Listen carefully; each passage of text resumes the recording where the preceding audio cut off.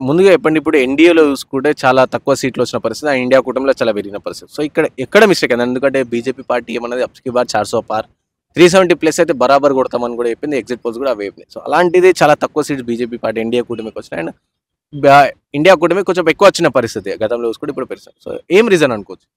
ముఖ్యంగా చూసుకుంటే ఇవి ఎన్నికలు అనేవి రాజ్యాంగం అనే కాన్స్టిట్యూషన్ చేంజ్ అవ్వడం అనే దాని మీద కాన్సెప్ట్ నడిచింది. ఇంకోటి రైతులు వ్యవసాయం మౌలిక వస్తువులు బీజేపీ అనేది ఒక మతతత్వంకి ఎక్కువ పెట్టుదారి పెట్టుబడిదారి వ్యవస్థకు అండ్ ఇండస్ట్రియలైజేషన్కి ఎక్కువ ప్రాధాన్యత ఇవ్వడం కారణంగా. అలాగే చూసుకుంటే పంజాబ్లో జరిగిన రైతుల మరణహోమం కానీ ఏడు వందల మంది చనిపోవడం కానీ వీళ్ళు తీసుకున్నటువంటి బిల్లులు ముఖ్యంగా ఎఫెక్ట్ చేసినాయి. అలాగే వీళ్ళు అనుకున్నారు ఏంటంటే బీజేపీ అనుకున్నది. మేము అయోధ్య కట్టినాం త్రీ సెవెంటీ చేసినాం ముమ్మర తలాక్ చేసినాం. కాబట్టి ఎంత ప్లేస్ అవుతుంది అనుకున్నారు. కానీ సామాన్య ప్రజలు అనేది ఎందుకు బీజేపీ ఓడిపోవడానికి ముఖ్య కారణం ఏంటంటే రాజ్యాంగ పరిరక్షణ అనేది ముఖ్య పాత్ర పోషించింది ఇందులో. ఎందుకు?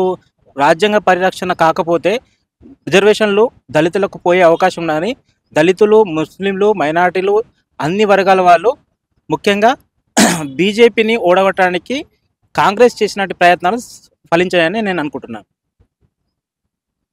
సో ఇంకోటి చూసుకుంటే ఇటు మోదీకి సంబంధించి అంటే మెయిన్ యూపీలో కూడా చూసుకుంటే ఎయిటీ సీట్స్ ఉంటే గతంలో సిక్స్టీ ప్లేస్ వచ్చినాయి. కానీ అలాంటిది సార్ థర్టీ త్రీకే పరిమితమైన పరిస్థితి. దానికి మెయిన్ అక్కడ ఫైజాబాద్ ఏదైతే అయోధ్య రామ మందిర్ ఉందో? అక్కడ కూడా బీజేపీ పార్టీ ఓడిపోయిన పరిస్థితి వచ్చింది. ఇంతలా ఎందుకు? చూడండి వీళ్ళు ఏమనుకున్నారంటే బీజేపీ వాళ్ళు పెట్టుబడిదారి వ్యవస్థ ఉంది మా దగ్గర. మా దగ్గర అన్ని సంఘాలు అన్ని అంటే మతతత్వ పార్టీ ఉంది కాబట్టి మేము ఈ ఈ రెచ్చగొట్టే ప్రయత్నాలు చేస్తే మాకు ఈ హిందూయిజం హిందూయిజంకు సంబంధించిన వ్యక్తులు మాకు ఓట్లేస్తారు అనుకున్నారు కానీ అది జరగలేదు. అది ఉదాహరణ చూసుకుంటే అయోధ్యను చూసుకుంటే మనము. అయోధ్యలో ఏం జరిగింది? ఫైజాబాద్లో ఓడిపోయింది అక్కడ రామ్ మందిర్ ఉన్న ప్లేస్ అది. అక్కడ ఓడిపోయింది లల్లు సింగ్ రెండు మూడు సార్లు గెలిచిన వ్యక్తి మీద అహ్మద్ ప్రసాద్ అనే వ్యక్తి దాదాపు మూడు లక్షల ఓట్లతో గెలవడం జరిగింది. సో ఎందుకు జరిగింది? అది దళిత నేత ఆయన. ఎస్పీ సంబంధించిన దళిత నేత గెలవడం జరిగింది. అంటే వీళ్ళు ఏమనుకున్నారంటే ముఖ్యంగా ఈ చార్సోపారు అనే ఒక నినాదము రామ మందిరం అనే నినాదము త్రీ సెవెంటీ ఆర్టికల్ మళ్ళా రాజ్యాంగం ఈ ముఖ్యంగా వీళ్ళు పోవడానికి కారణమైనటువంటి పరిస్థితి ఏంటంటే రాజ్యాంగానికి రిజర్వేషన్లు రాజ్యాంగం మారుస్తామనే స్టేట్మెంట్లు. అందులో ఈ ఫైజామాబాద్ ఎంపీ కూడా ఉన్నాడు లల్లు సింగ్. అతనే అని. చెప్పడం కారణంగా అక్కడ ఓడిపోవడం జరిగింది. ముఖ్యంగా దళితులు మైనార్టీలు అండ్ అడవి అంటే ట్రైబ్స్ ఆదివాసులు వీళ్ళు ముఖ్య పాత్ర పోషించారు రక్షణ. అంటే రక్షణ లేనప్పుడు మాకు ఎందుకు? అని జరగడం ఉంది. అందుకు మెయిన్గా ఇందులో ఏంటంటే రైతులు ముఖ్య పాత్ర పోషించారు. అలాగే ఈ ముస్లింలు ముఖ్య పాత్ర పోషించారు. అంటే ముస్లింలో కూడా ఒక భయాందోళన ఉండేది. ఏంటంటే ఈ ఇప్పుడే ఇన్ని చేసిండు ఇంకా నాలుగు వందలు వస్తే ఇలా మా పరిస్థితి అనేది ఒక అదే భయాందోళన. వన్ సైడ్ ముస్లింలు ఇవ్వడం జరిగింది. దళితులకు కూడా చూసుకోండి మణిపూర్ ఇష్యూ చూడండి మరి అక్కడ పంజాబ్ ఇష్యూ చూడండి ఇక్కడ ఇక తమిళనాడులో చాలా గొడవలు ఇక తెలంగాణలో కూడా గొడవలు మంది మంది స్టార్ట్ అవ్వడం సౌత్ నుంచి నార్త్ నుంచి సౌత్కి రావడం ప్రబలించడం అవన్నీ ఒక మతతత్వంగా ఏమి తెలియని అమాయకులను మతతత్వంగా వాళ్ళని రెచ్చగొట్టి ఏదో ప్రయత్నం చేసి నాలుగు వందలు వచ్చే ప్రయత్నం చేసిరు. వీళ్ళు ఏమనుకుంటారంటే నెహ్రూ లాగా నేను కూడా నాలుగోసారి నైన్టీన్ ఫిఫ్టీ టూలో ఫిఫ్టీ సెవెన్లో సిక్స్టీ టూలో త్రీ టైమ్స్. అలా గెలిచినాం కదా. అది ఆయన పొందగలిగిండు కానీ అన్ని సీట్లు రాలే. అది గర్వంగా చెప్పుకుంటున్నాం నైన్టీన్ ఫిఫ్టీ టూలో ఆయనకు three seven three sixty four వచ్చినాయి. ఫిఫ్టీ సెవెన్లో త్రీ సెవెంటీ వన్ వచ్చినాయి. అండ్ సిక్స్టీ టూలో త్రీ సిక్స్టీ టూ వచ్చినాయి. అలా కానీ వీళ్ళకి ఏముంది ఆ, వీళ్ళు మూడు వందల మూడు నుంచి రెండు వందల ముప్పై నాలుగు పడిపోయారు. పడిపోయారు. ఏమైంది అంటే ఇండైరెక్ట్ ఏం చెప్తారు ప్రజలు? నీ పాలన వద్దురా నాయన అని చెప్తారు నీ పాలన ఇక్కడ నచ్చట్లేదు. ఈ ఈ ఈ దేశం అనేది సర్వమతానికి ప్రాధాన్యత ఇస్తుంది. ఒక హిందూ మతం కాదు. నేను ఒక స్టేట్మెంట్ చెప్పగలుగుతున్నాను ఏంటంటే ఇక్కడ హిందూయిజము గెలిచింది. హిందుత్వం అనేది ఓడిపోయింది. అయోధ్య అనేది దాంట్లో ముఖ్య పోతర పోషించానని నేను ఫీల్ అవుతున్నాను ఇంకోటి అన్న ఓవరాల్గా చూసుకుంటే ఇక్కడ సౌత్లో అంటే సౌత్లో కొంచెం బీజేపీ పుంజుకుంటుందని చెప్పేసి కనిపించచ్చు ఎందుకంటే రీసెంట్ చూసిన మన ఎలక్షన్లో కూడా సౌత్లో అక్కడక్కడ కూడా బీజేపీ గ్రాఫ్ పెరిగింది. అండ్ నార్త్లోనే తగ్గిపోతా ఉంది. అంటే నార్త్ అంటే ఇంతమంది చూసుకుంటే సౌత్లో లేకుండా నార్త్లోనే ఉంటుండే. అలాంటి నార్త్లో తగ్గి సౌత్లో పెరుగుతుంది సో దీనికి reason. దీనికి రీజన్ ముఖ్యంగా ఏంటంటే అక్కడ ఉన్నటువంటి పరిస్థితుల్లో వాళ్ళు అణిగిపోయి ఉన్నారు. Hmm. నార్త్లో Hmm. అణిగిపోయి వాళ్ళు చూసిరు మూడు సార్లుగా వారణాసి చూసిరు ఉత్తరప్రదేశ్లో వాళ్ళ ప్రభుత్వం చూసిరు గుజరాత్లో చూసిరు వారణాసిలో మోదీ మెజార్టీ కూడా మెజార్టీ మూడు లక్షల తొంభై వేల నుంచి లక్ష యాభై రెండుకు పడిపోయింది. అజయ్ రామ్ అనే వ్యక్తి దాదాపు మొత్తం అసలు ఫస్ట్ రెండు మూడు రౌండ్లు ఆరు వేల లీడ్తో ఉన్నాడు. సో అక్కడ ఏంటంటే మెయిన్గా ఏం చేశారు అంటే వీళ్ళు ఏదో మసి పూసి మారుగా చేసే ప్రయత్నం చేశారు కానీ ప్రజలు అని మేల్కోవడం జరిగింది. ఇది కాదు మాకు హిందుత్వ కాదు మాకు హిందుత్వం అనేది తిండి పెట్టదు మాకు ఉద్యోగాలు ప్ర ఇవ్వదు. వీళ్ళు అన్నారు సంవత్సరానికి రెండు కోట్ల ఉద్యోగం ఇస్తామన్నారు ఇన్ఫ్రాస్ట్రక్చర్ డెవలప్ చేస్తా అన్నారు మౌలిక వసతులు కాకుండా వాళ్ళకు వ్యవసాయానికి సంబంధించిన బిల్లులు. అంటే వీళ్ళు ఏంటంటే ముఖ్యంగా వీళ్ళు పెట్టుబడిదారు వ్యవస్థకు మా అనుకూలంగా పనిచేయడం కారణంగా వీళ్ళు ఓటమికి చెందిర్రు. ముఖ్యంగా వీళ్ళకు ఓటమి చెందడానికి రీజన్ అనేది పెట్టుబడి వ్యవస్థ. అదాని అంబానీ వాళ్ళను వీళ్ళు చూసుకున్నారు మా దగ్గర సైడ్ ఉంది కదా మేము ఈజీ గెలుస్తాం అనుకున్నారు. అది కాదు ముఖ్యంగా వ్యవసాయము నీటి వరదాల అలాగే ఉద్యోగాలు ఇవి మే మెయిన్గా అక్కడ బీహార్ చూసుకోండి మీరు. బీహార్లో ఇలాంటి ఏం లేదు. రైల్వేకి సంబంధించిన జాబులు కానీ అక్కడ అసలు పరిస్థితులు ఘోరంగా ఉన్నాయి. సో వాళ్ళు ఇప్పుడు అక్కడ యువత ఇప్పుడు ఇప్పుడు చదువుకున్న యువత రావడం. ఇంతకుముందు మూడు రెండు సార్లు గెలిచినప్పుడు వాళ్ళు చిన్న అంటే వాళ్ళు ఆ ఓటు హక్కు లేని అంటే పరి పరిపక్వత లేని స్టేజ్లో ఉన్నారు ఇప్పుడు చదువుకోవడం జరిగింది. చదువుకున్న యువత అంతా అక్కడ మేల్కోవడం జరిగింది. అది కాదు మాకు ఈ హిందూ యుద్ధం హిందుత్వం అనేది మాకు తిండి పెట్టదు. ఎవరైనా దేవుణ్ణి మేము ప్రా ప్రార్థిస్తాం. ఎవరింట్లో మన ఇంట్లో అయినా వెళ్తే ఎవరికైనా హిందుత్వం అనేది అది మేము హిందూత్వం అనేది మనకు అది ధార్మికం. మనం ఒప్పుకోవాల్సిందే. ఎవరికి ఇస్లాంలకు ఇస్లాం ముస్లింలకు ముస్- ఎవరికైనా వాళ్ళకి సంబంధించి వాళ్ళకు ఉంటుంది. కానీ దాని మీద రావణ్ మీద మీరు రాజకీయం చేస్తే రాముడు కూడా తన్నిండు వీళ్ళని కాలుతో తండిండు ఎట్లా అయోధ్య చూసుకుంటే నాకు తెలుస్తుంది. ఎందుకంటే అక్కడ మెయిన్గా అయోధ్య ఓడిపోవడానికి రీజన్ అనేది లలిత్ సింగ్ స్టేట్మెంట్ రాజ్యాంగం. రాజ్యాంగం అనేది రాజ్యాంగం జోలికి వస్తే ఎవడైనా అంతం కావాల్సినదే ఇప్పుడు ఈ ఎన్నికలు రుజువు చేసి రుజువు చేయడం జరిగింది. ఓవరాల్ ఇప్పుడు తెలంగాణకు వద్దాం మనం ఒకసారి మనము. అయితే తెలంగాణలో చూసుకుంటే గతంలో ఏమో నాలుగు సీట్లు ఉండే బీజేపీకి. అలాంటిది ఇప్పుడు ఎయిట్ అంటే డబుల్ అయినాయి అని చెప్పుకోవచ్చు. సో ఇట్లా ఇక్కడ తెలంగాణలో పెరిగిపోతుంది అని బీఆర్ఎస్కి ఏమో సున్నా వచ్చేసింది. అలాంటిది బీఆర్ఎస్ ఓట్లన్నీ బీజేపీకి పడ్డాయని చెప్పేసి చెప్పుకోవచ్చు మనం తప్పకుండా చెప్పుకోవచ్చు. అలాగే నెక్స్ట్ ఫ్యూచర్లో కూడా ఏమన్నా అంటే సెకండ్ క్వశ్చన్ ఇది. ఫ్యూచర్లో ఏమైనా తెలంగాణలో బీజేపీ వచ్చే ఛాన్స్ ఏమైనా కనిపిస్తుందా? చూడండి ఇక్కడ ముఖ్యంగా ఏంటంటే ఆ, ఈ బీజేపీ అనేది ఆ, పార్టీని చూసే దానికంటే క్యాండిడేట్లను చూసే ఓట్లు రావడం జరిగింది ముఖ్యంగా అందులో ఆ, ఈటల రాజేందర్. బీసీ సామాజికవేత్త ముదిరా సామాన్యానికి ఆయన మూడు లక్షల చిల్లర మెజార్టీతో. మూడు లక్షల తొంభై వేలతో మెజార్టీ జరిగింది సో ఆయన ఆయన నేను పార్టీ అనుకోవట్లేదు.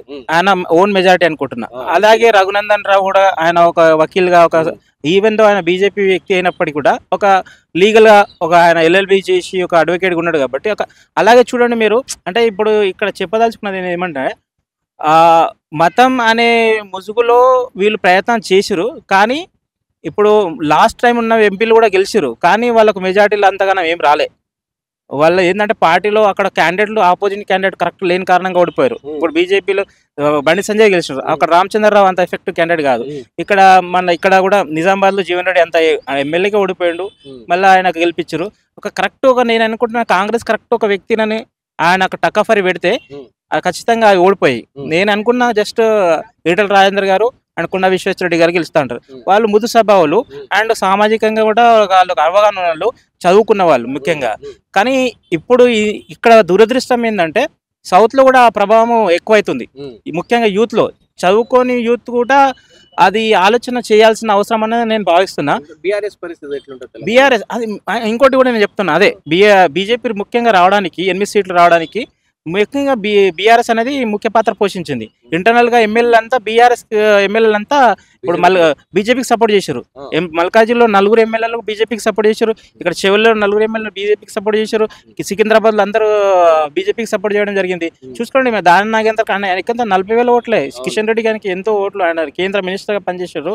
రెండు సార్లు మూడు సార్లు ఎంపీగా పనిచేసినటువంటి అదే దత్తాత్రేయ ఉన్నప్పుడు ఎన్నో నాలుగు వేల నాలుగు లక్షలు మూడు లక్షల మెజార్టీ ఉన్నటువంటి ఇప్పుడు నలభై వేలతో జస్ట్ ఓడిపోవడం అదే పద్మారావు క్యాండిడేట్ కూడా స్ట్రాంగ్ డిపాజిట్లు రాలేవు అక్కడ మెయిన్గా రీజన్ ఏంది? పద్మారావు డిపాజిట్ రాకపోవడానికి అక్కడ ఉన్నటువంటి నలుగురు ఐదు మంది ఎమ్మెల్యేలు ముఖ్యంగా బీజేపీకి సపోర్ట్ చేశారు.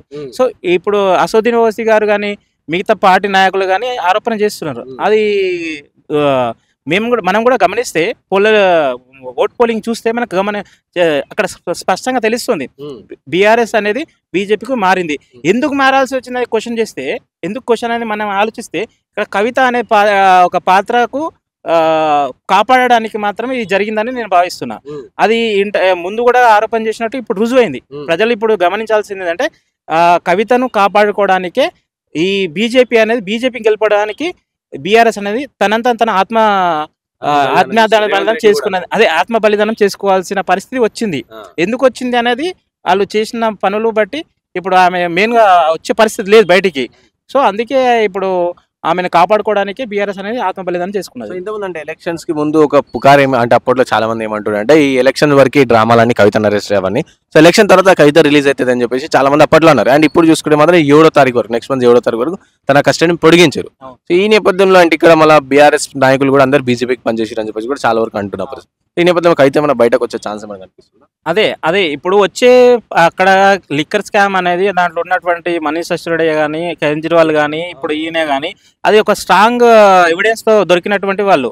సో అవి రావడానికి వీల్లేదు కాబట్టి ఇప్పుడు అక్కడ తగ్గిండు. కేసీఆర్ అయిన అంత ఈజీ తగ్గడానికి వీలున్నటువంటి రాజకీయ నాయకుడు కాదు చాణక్యుడు.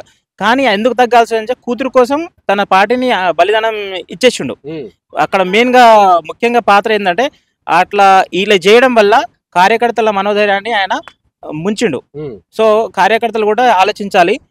టిఆర్ఎస్ కార్యకర్తలు కూడా ఆలోచించి ముందుకు సాగాలని నేను సూచిస్తున్నా వాళ్ళను.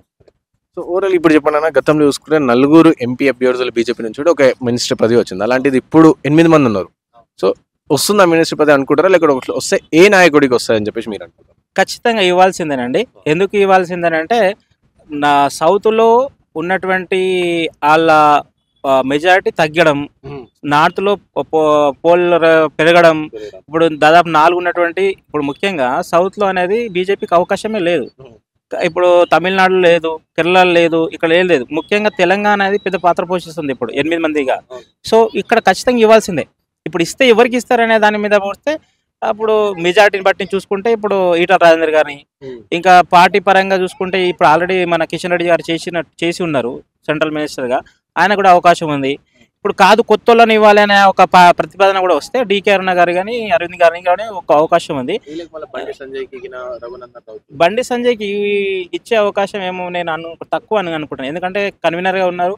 ఇక మే- సెంట్రల్లో ఏదో ఆయనకు పెద్ద పదవి ఇచ్చి వీళ్ళకి ఇచ్చే అవకాశం ఉంది. ఎందుకంటే యంగ్ అండ్ డైనమిక్గా ఉన్నారు. ఇంకోటి ఏంటంటే బీసీ పోలరైజేషన్ ఎక్కువడానికి అవకాశం ఉన్నటువంటి వీళ్ళు ఆలోచిస్తారని నేను అనుకుంటున్నాను ఎందుకంటే బీసీ సామాజిక వర్గం తెలంగాణలో ఎక్కువ కాబట్టి ముఖ్యంగా ఇందులో నేను గ్యారంటీగా నేను అనుకుంటున్నది అంటే ఈటల రాజేంద్ర గారికి అవకాశం ఉందని అనుకుంటున్నా. ఇంకోటి విశ్వేశ్వరరెడ్డి గారి కూడా పెద్ద కాన్స్టిట్యున్సీ పల్లె అండ్ పట్టణ ప్రాంతం కలిగినటువంటి కాన్స్టిట్యున్సీ అండ్ ఈ అక్కడ పరిస్థితులు కూడా బీజేపీకి అనుకూలంగా లేని పరిస్థితులు కూడా బీజేపీకి అనుకూలంగా వచ్చినాయి. కాబట్టి ఆయన ముఖ్య పాత్ర పోషిస్తే ఇప్పుడు అది ఒక బీజేపీకి అనుకూలంగా మారే ఛాయిస్ ఉంది కాబట్టి ఆయనకు ఇచ్చే అవకాశం ఎక్కువ ఉంది. సో ఇప్పుడు చూసుకుంటే అండి ఏపీది కూడా చూసుకుంటే కీలక పాత్ర కూడా సెంట్రల్ ఉంది. అలాంటి అంటే ఇటు నితీష్ కుమార్ కావచ్చు బీఆర్కి సంబంధించి అండ్ ఇటు చంద్రబాబు నాయుడు కూడా ఏపీకి సంబంధించి. సో వీళ్ళ ఏపీ గెలుపుని మీరు ఊహించారా? అంటే అట్లా అంతగానం మెజార్టీతో గెలుస్తారని చెప్పేసి ఊహించారా? ఎలా ఉండబోతుంది నెక్స్ట్ ఫ్యూచర్ అది అసలు ఊహించని పరిణామం అండి అసలు మేము అనుకున్నది అంటే ఆల్మోస్ట్ ఆల్ ఎగ్జిస్ట్ పోల్స్ ఏమైనా ఆరవస్థానం కానీ మిగతా అన్ని పోల్స్ ఏమైనా అసలు సోషల్ మీడియాకు చూడడం కానీ అన్ని చూసుకుంటే Jagan why not one seventy five అన్నటువంటి క్యాండిడేట్ లెవెన్కి పడిపోవడం అనేది చాలా అక్షరానికి గురి చేస్తున్నది మన మాలాంటి వాళ్ళకు అసలు ఏం జరిగింది అనేది చూసుకుంటే ఆ సినిమా లెక్క సినిమాటిక్గా చూసారు కానీ గ్రౌండ్లో పని చేయలేరు వాళ్ళు. కార్యకర్తలు అనేటోళ్ళు అక్కడ ఎమ్మెల్యేలు కూడా గుండాయిజం ఎక్కువైపోయింది. ఇప్పుడు నాని గారు కానీ జోగి రమేష్ గాని కానీ ఇప్పుడు ఒక ఎప్పుడైనా పాలిటిక్స్ అనేవి ఎప్పుడైనా సామరస్యంగా ఒకటి కాన్స్టిట్యూషన్ ఫాలో అయ్యే విధంగా ఉండాలి. ఒక సీనియారిటీ లేదు ఒక పెద్ద చిన్న లేకుండా అక్కడ. ముఖ్యంగా అది అది రావడానికి ముఖ్యంగా పాత్ర పోషింది అంటే చంద్రబాబు గారి అరెస్ట్.